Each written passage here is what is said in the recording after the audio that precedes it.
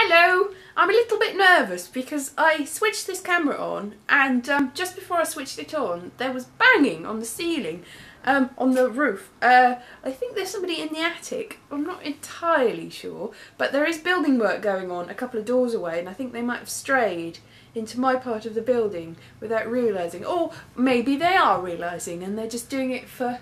It's, it's calmed down now, but it was really loud. I just thought there's somebody in the actual flat there's not somebody in the flat. There's nobody in the flat except for me.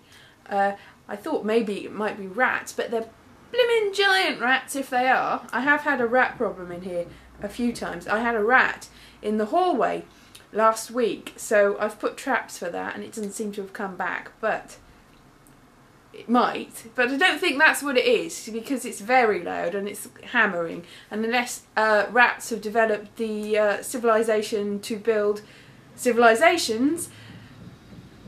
It's banging. That's not, I don't know whether you can hear it, don't know whether the, the speaker will pick it up, but yes, I don't think rats are quite at the level of sophistication to start hammering with a hammer on my ceiling in my attic. I hope not.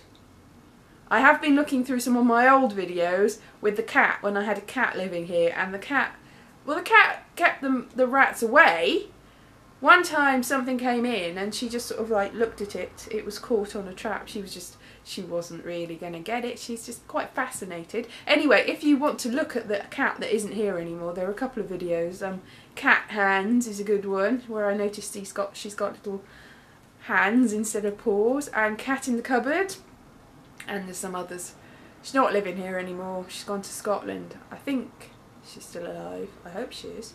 Anyway, I'm just going to switch this off and hope that nobody crashes through my ceiling. Bye bye.